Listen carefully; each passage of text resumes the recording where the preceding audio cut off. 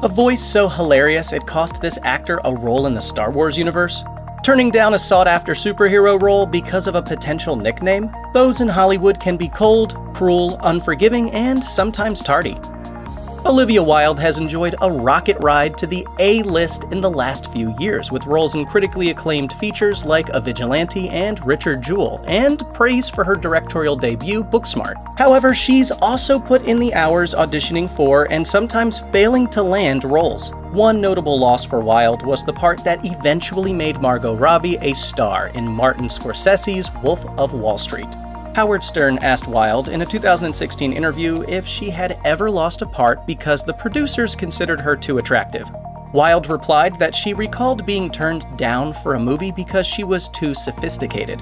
She recalled, I was like, oh, that sounds nice, and then I found out later that they actually said old. I want to make a translation sheet for Hollywood that's all the feedback your agents give you and what it really means.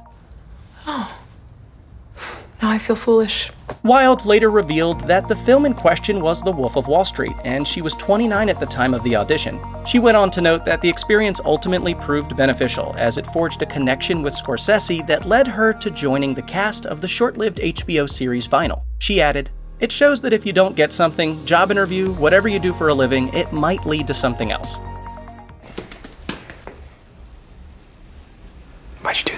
Trying to see if you have the tingle thing. I have the tingle thing, just not for bread.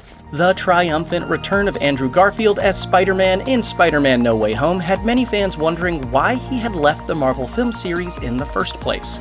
It was likely a combination of reasons, from the box office stumble between his two Spidey films to a growing disenchantment with the portrayal of the character.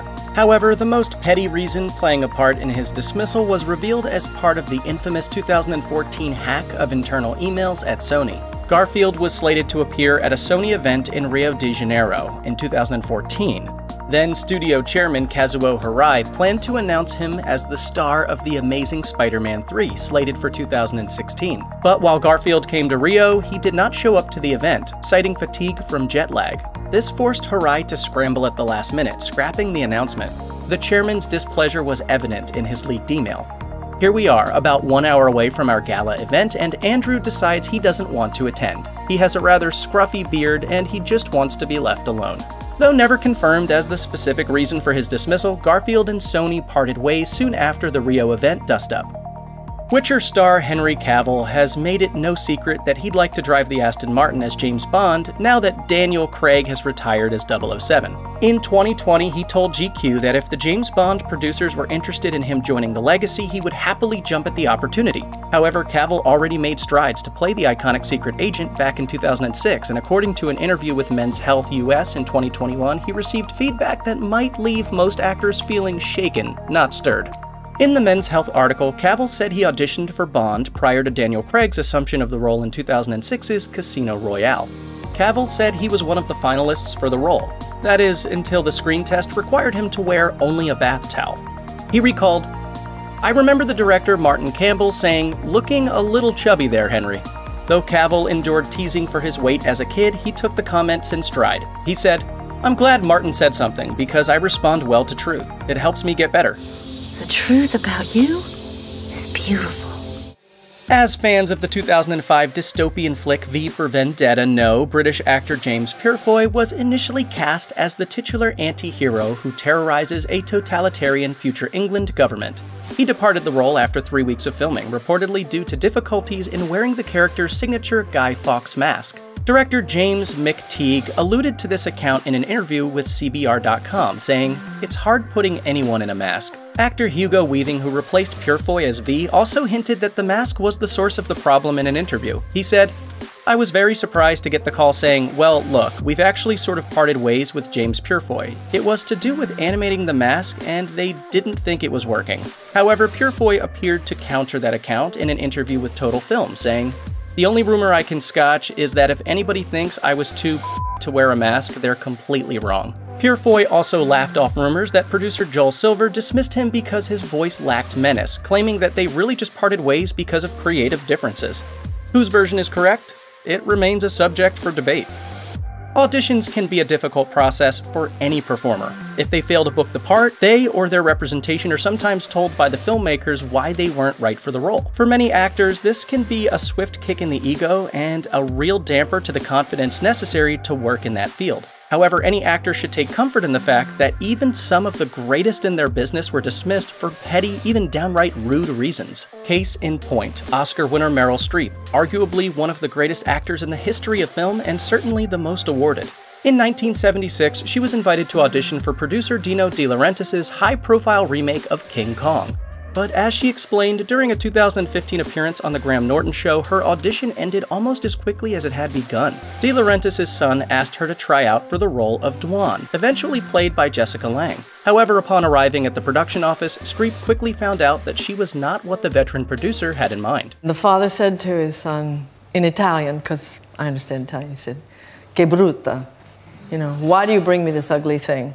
Ultimately, Streep had the last laugh. Kong was a box office flop while she appeared in The Deer Hunter in 1978, netting her first of 21 Oscar nominations. I'm sorry I'm not beautiful enough to be in King Kong. Although Paul Bettany is best known for films like The Da Vinci Code and Solo A Star Wars Story, and for playing the MCU's Vision, he was primarily an English stage and television actor until 2001.